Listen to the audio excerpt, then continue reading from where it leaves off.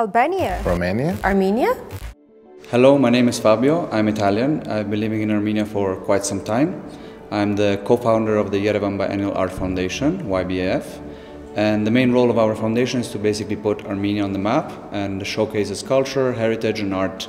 I think any Armenian who has been abroad uh, knows this situation where he's mistaken for Albanians, Algerians, Romanians, uh, whatever the country resembles, I mean, sound-wise.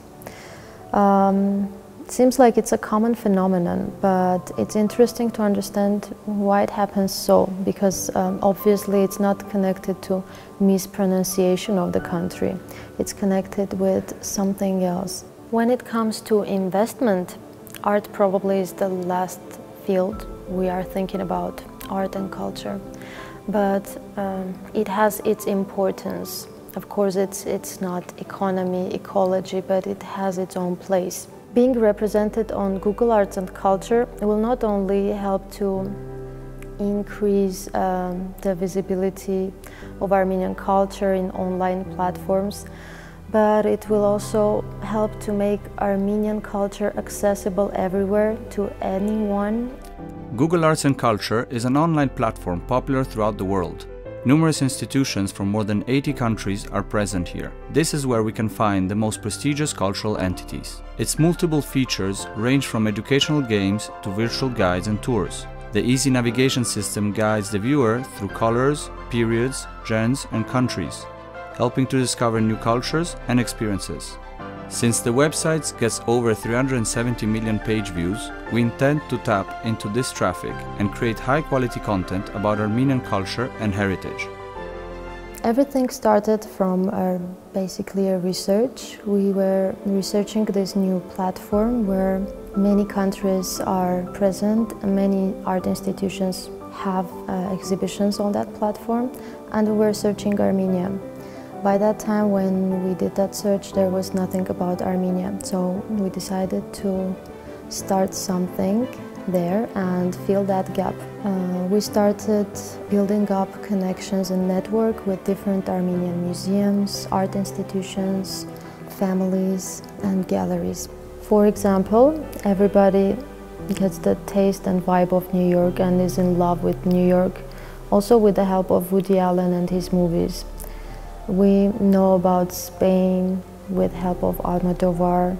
We know about Armenia with the help of Saryan, Parajanov, and we have more names to represent. We have more artists to show. We need your help to fundraise in order to bring the next five exhibitions to life. The first exhibition shows Armenian caricatures from 1918 to 1921 when Armenia had just faced its liberation. The printed media shows all of its development, the traumas of society, and the formation of cliches.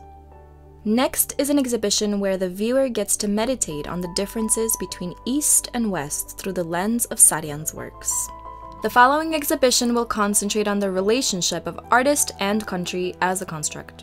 The fourth exhibition will focus on the formation of national identity, how the concept and image of the motherland are created through landscapes of Armenia. The last exhibition focuses on the importance of theater in the formation of a country and how ideologies are smoothly transmitted from stage to life.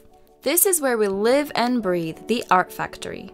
The first floor is Latitude Art Space, which both operates as a contemporary art gallery and a space where different art workshops and discussions take place. The second and third floor are art studios where artists of different mediums live and create.